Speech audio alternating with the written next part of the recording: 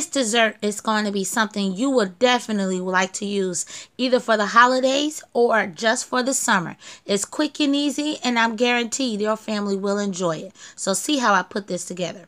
We start with marshmallows and some sour cream, extra creamy Cool Whip, and I have four different types of fruits. I also have some maraschino cherries, some coconut sugar, um, thawed blueberries, and then I have some chopped walnuts. Now, the walnuts and the coconut are two ingredients that are optional, but if you don't like it or you don't want to have it, then don't even use it. We're going to also need a very large bowl because this makes a very large portion of this ambrosia salad. And this ambrosia salad is slamming. But what we're going to do first is we're going to drain the fruit before we use it into our salad. And also with the blueberries, you want to make sure that they're good and thawed. So as you see, I started with my chopped or my chunky coconut not coconut, pineapple, and I let them drain over a large bowl. Now, of course, when you are opening up your fruit and you're draining your fruit, you want to try to save that juice because that juice can be used for making fruit punch or whatever other dessert or just nice glaze for a cake.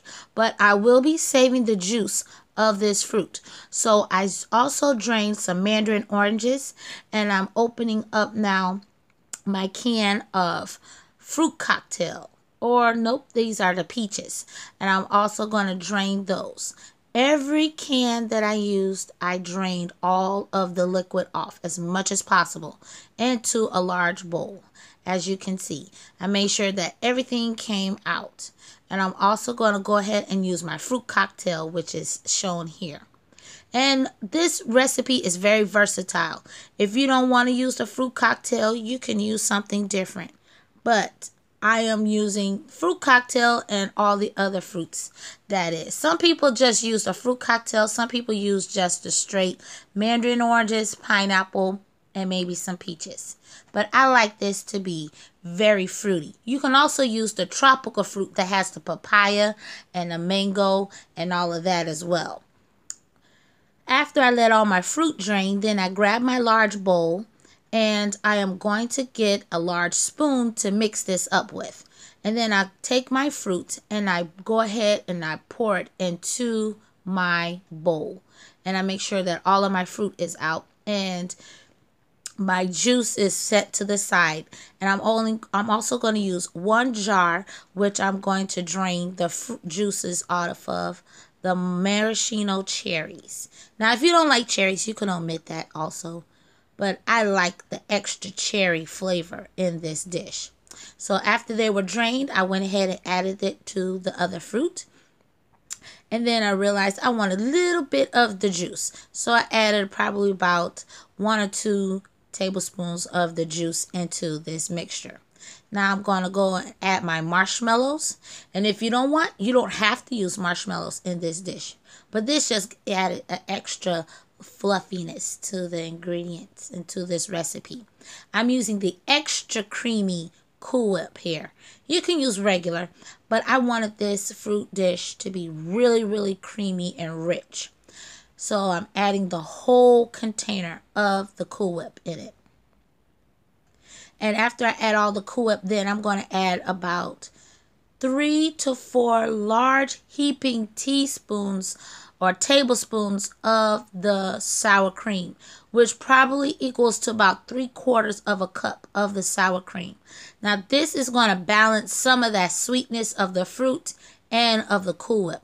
Sour cream gives this fruit dish a really creamy, rich, and kind of a little zing to this creamy, delicious dessert. Like I said, it's three large heaping tablespoons, about three fourths of a cup, and then I'm adding three fourths of a cup of sugar to this. And I'm also going to go ahead and add my blueberries. I was going to drain my blueberries, but if you want, you can add fresh blueberries. That way you don't have to worry about the juice. I'm just going to go ahead and fold all of these in together because you don't want the Cool Whip to pretty much deflate from the thickness and the creaminess. If deflate is the word I would use. I'm not for sure. But you want to maintain your creaminess of this dish. I went ahead and added my walnuts and I'm going to also add some coconut to this as well, which also makes this dish very tasty. All these different textures is really good for this dessert. And it is so quick and easy. And it is perfect for the summer months or even during the holiday season.